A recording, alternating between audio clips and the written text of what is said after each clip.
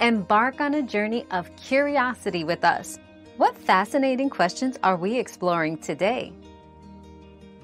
People with certain health conditions should avoid phenylephrine.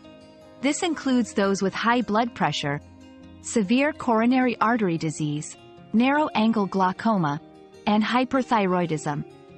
Individuals taking certain medications, like monoamine oxidase inhibitors, MAOIs, should also steer clear, as interactions can lead to dangerous elevations in blood pressure. Always consult with a healthcare provider before taking medications containing phenylephrine, especially if you have pre-existing health issues or are taking other medications. We've quenched today's curiosity, but there's always more to learn. Keep the curiosity alive by subscribing and joining us for our next adventure.